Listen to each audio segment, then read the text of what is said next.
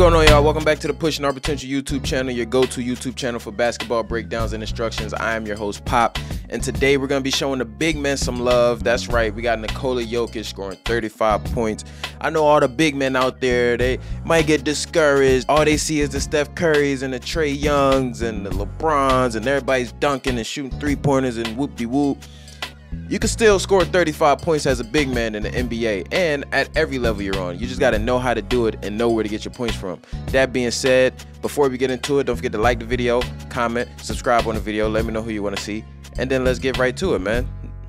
We're going to be giving out some game in this one, y'all. Giving y'all some easy, easy buckets. Let's see how the best big man in the league gets his buckets right here. First off, we got a, a screen. He didn't even use the screen, but his great point guard play he, he attracts two defenders here, and Jokic just slides into the open space. Slides into the open space. He, he keeps himself available for this pass from the point guard. And then he keeps the ball high. Look at him. Put the ball high. Finish over the top of the defense. So first play, we got a pick and roll. He didn't use the screen, but he still rolled to the basket. He still, you know, used the open space that he had. Here we're getting out in transition running the floor. Simple. Get out in transition and run the floor. He causes this turnover and he gets out and he's running. Look at him. Full steam ahead. Way to run, way to hustle. Big man, if you run the floor, you will get rewarded. If it's not with a point, you'll get an offensive rebound. It's, it's going to come to you. Play the game with integrity. Now, this, don't do that shit. nah, man, this is uh we got this is a play for Jokic, surprisingly enough, coming out of this screen. He gets a double down screen right here. Down screen right here, floppy right here. He just comes out to it. One dribble, step back.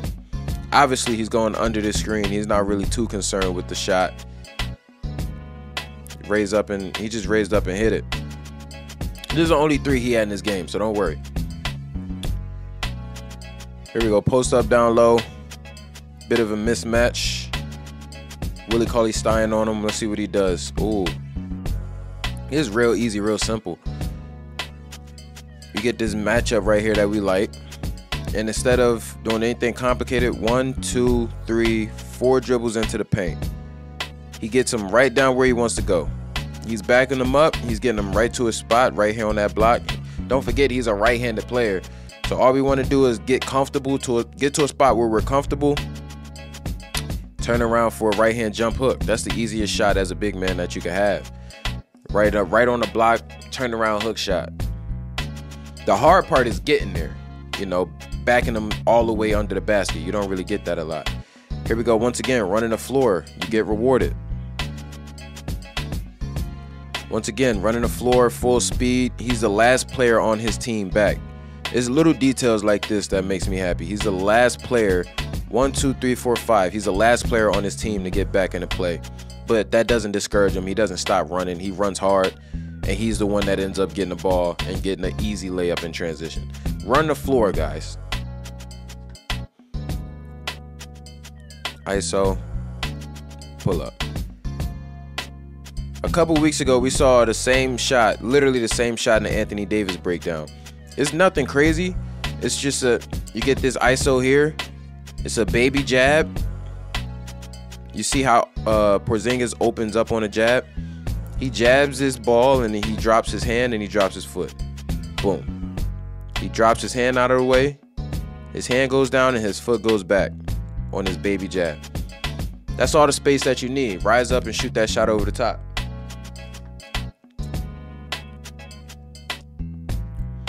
This is just playing the floor great. This is playing. This is this is this is great spacing right here. You see, he's over here. What I like about this play is the baseline drive, corner, drift. Baseline drive, corner drift. Whenever you have a player on the strong side driving baseline, whoever's in his weak side, you have to you have to drift to the corner. It's imperative. I don't care if you're a big man, a point guard, a two, wherever you are.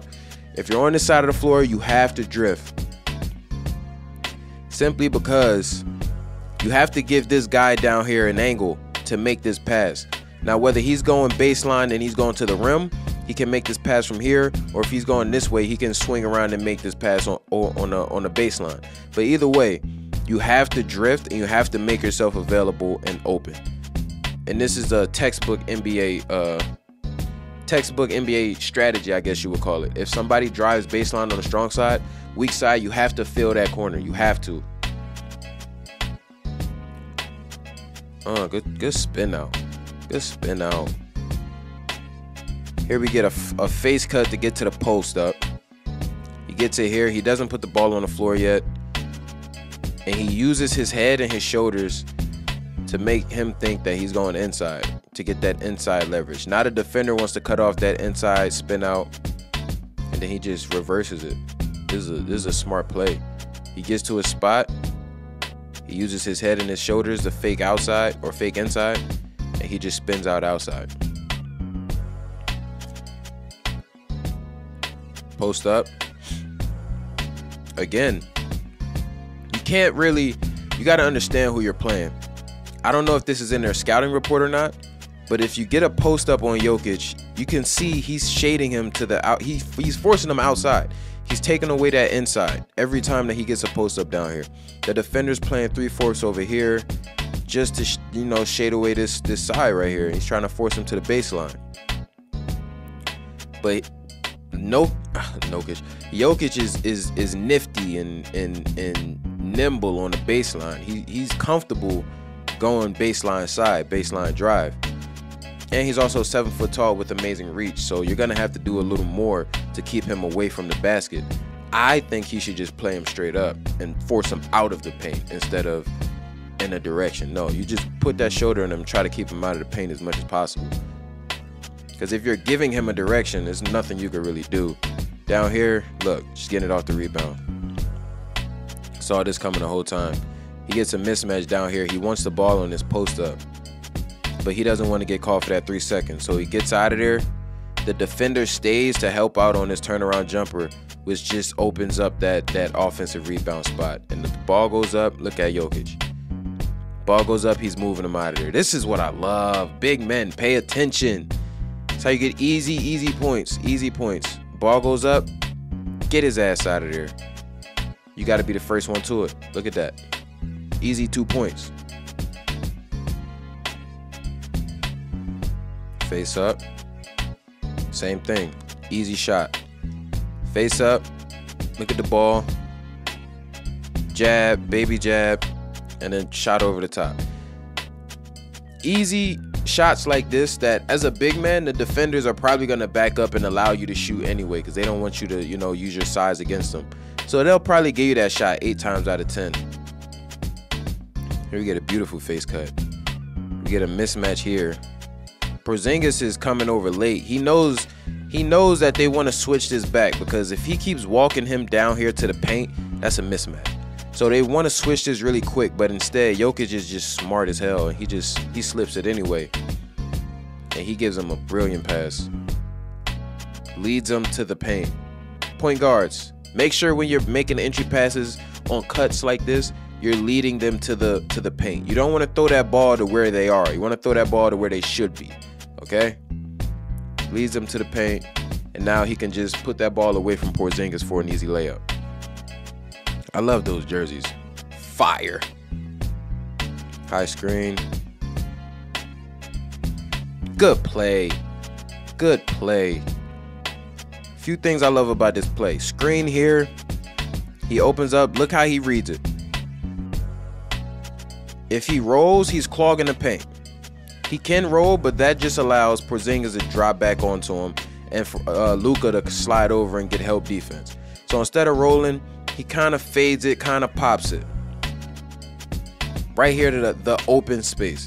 He fades out to the open space to where he the the most space from this possible uh, roll, I guess you could say. Fades it out. Now he's got an open jumper. Show the ball on the pump fake. Porzingis falls forward, flies out of his socks, and then he just goes right around him for a nice feathery floater. Playing smart. Jokic is the best big man in the league, skill set wise. He's also probably the smartest. All right, Kareem. Once again, you can see Jokic, uh, Porzingis. Now he's playing them more straight up, kind of. He doesn't want to give him too much inside. He doesn't want to give him too much outside. He's kind of forcing him out of the paint. It just so happens Porzingis is about the size of my pinky finger. You know, he's thin as hell. So he uses his size. Look, uh, look at this. Look at look at that shoulder dip. Boom, right into him. Hook shot. What can you really do about that shot? He can't block it, and he knows where he's going with it. There's nothing you can really do about that. Seven footer on seven footer. And look at you can even see Porzingis with a a bit of a smile after he hits that shot. Like there's nothing you can really do about it. Oh, now we get this Luka action. Timeout. I knew that was gonna happen. That was a mismatch when I saw it. Luka's like six foot nine, 190 pounds. I'm exaggerating, of course, guys. Don't kill me in the comments. But we get this mismatch here. Luka's playing him straight up. He's playing him straight up. But here, this is where he fucked up. He gets knocked off his his his. He gets knocked off balance right here. Look at how the angle that his back takes. Why is he taking that? He's like folding inside like this. And Jokic just spins out baseline. Like I said in the Anthony Davis breakdown, if you can get your elbow on this guy's shoulder right here, they're beat. Is nothing they could do. No way that they can recover. If you could get your elbow on their shoulder, on their back, that's a clear, clear layup. Look at how much that throws him out of the picture. Take that elbow, get him out of there. Good dunk, good finish, good spin. So let's look at this shot chart over here, guys. Nothing too telling. Um, the mo the thing that pops out to me is these three, uh, these four three pointers that he missed. Probably shouldn't have shot him anyway, but in the flow of a game, you're gonna take what the defense gives you. But when he's being aggressive, we get a lot of a lot of uh, field goals right down here at the basket. About 20 or so of his shots came right down here at the basket. And big man, it's the NBA.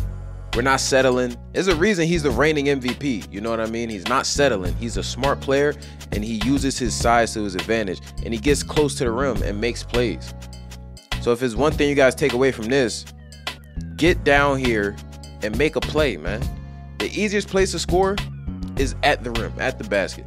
Get down here, make a play. If you if you ain't got it, kick it out for a teammate. It'll come back to you. Get it off the rebound, make something happen. Can't negate the fact that when you run the floor, you do get rewarded and good things happen for you in the form of easy transition layups, offensive rebounds and putbacks, and uh, screen transition drag screen opportunities. So for for my big men out there, really really take heed, really take notes, and add some of this stuff to your game. The pick and slip, uh, the pick and pop, the pick and fade offensive rebound, boxing out. You know, we got to become better big men, better players. That's what the channel's here for.